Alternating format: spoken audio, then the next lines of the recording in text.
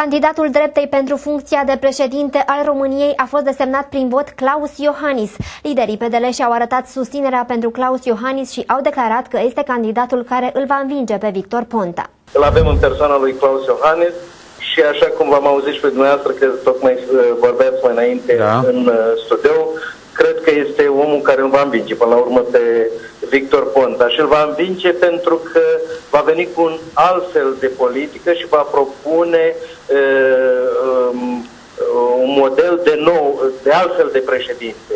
Un model de președinte uh, care până astăzi, în cei 25 de ani în România, nu a fost.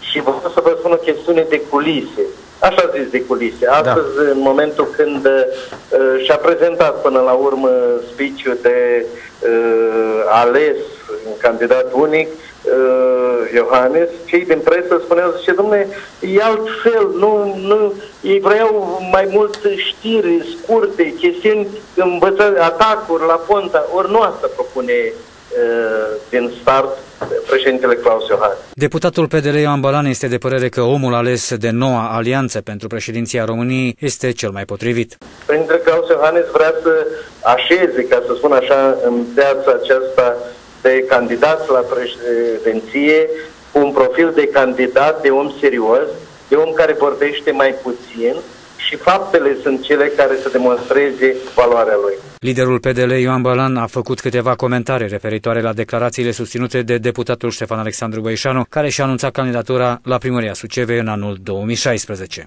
Cum o să fie, vom vedea atunci. A. Eu ce spun astăzi, avem alegeri prezidențiale și niște cum la Am. primărie. Da. Eu nu sunt genul de om disperat care atunci când avem, suntem în campanie prezidențială, că sunt candidat la primărie. Nu despre asta e vorba. Este vorba că și uh, Alexandru Băișanu și Ioan Bălan sunt în campanie electorală pentru prezidențiale. Noi astăzi ne vom bate pentru a câștiga președinte, uh, voturi pentru președintele Claus Iohannis în această toamnă. Până la primărie vom vedea. Eu ce am scos pe gură odată, așa cum am, v-am și obișnuit, nu uh, bag înapoi. Deci rămân candidat uh, alianței până la uh, Partidul Democrat Liberal și cred și al Partidul Național Liberal până la capăt.